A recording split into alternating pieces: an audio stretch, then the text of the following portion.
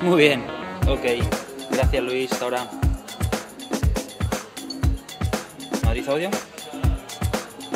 Sí, dígame. ¿Sí? Voy yo, cuéntame amigo. Instalación del amplificador. En ese hueco, debajo del asiento, hemos tenido que quitar el asiento. Y ahí va a venir su radio. Ya hemos instalado los altavoces delanteros. Hemos desprotegido todo el lateral para pasar el cable de alimentación.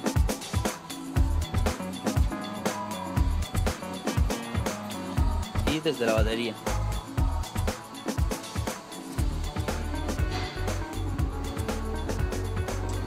Luego la bandeja la estamos haciendo con malla y tornillos métricos.